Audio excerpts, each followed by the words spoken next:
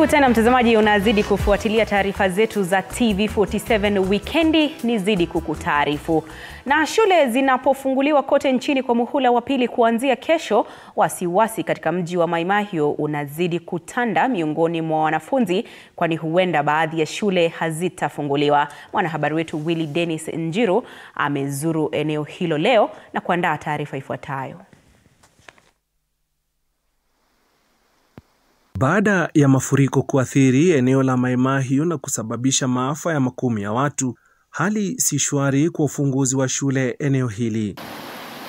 Hii ni njia kuu ya kilomita kumi inayounganisha barabara ya Naivasha Nairobi. Shughuli hapa ni za ujenzi wa madarasa kusaidia wanafunzi kufika katika shule kuanzia hapo kesho.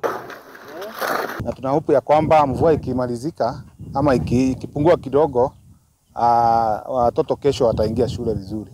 Daraja ndio hiyo tumeitengeneza, at least kuna ingine pande ile tunaendelea na kuangalia vile uh, watoto wetu watarudi shule bila shida yoyote. We are coming to a session where students are going back to school and some of the needs that we are seeing is students will need uh, just items to get back to their education in terms of school bags, in terms of uh, books. We focus on more of school items. Katika shule hii hali imetulia tu, hakuna dalili za utayari wa kuanza tena masomo, lakini umbali wa kilomita mbili ni shule ya sekondari ya wasichana ya Ngea ambayo ilitumika kuwa kituo cha wahasiriwa wa mafuriko.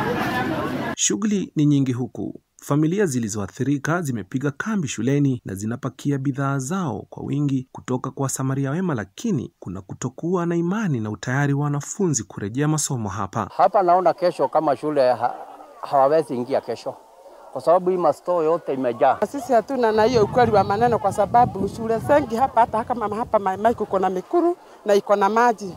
Sasa tungeuliza kama tungeongezwa tu, tu, tu, siku ingine kidogo hii maji afadhali ipunguze kidogo. Zaidi ya madarasa manane yamejaa misaada ya mavazi na malazi, wazazi hapa wakionyesha wasiwasi wao wa kuwaruhusu wanao kufika shuleni pasi na waangalizi wao kwenye maeneo hatari. Tuko na wasiwasi kwa vile tuko na watoto wetu, tunakaa huko chini, watoto wako huku karibu na hii maji na sisi tuko na wasiwasi. Sasa mi naomba serikali kama watapitia, na ni lazima shule ifungulio kesho, lazima pakuwe na mtu mmoja wa serikali watupe wa kufukisha hao watoto, juu watoto wengine ni wadogo, ni wa nasari.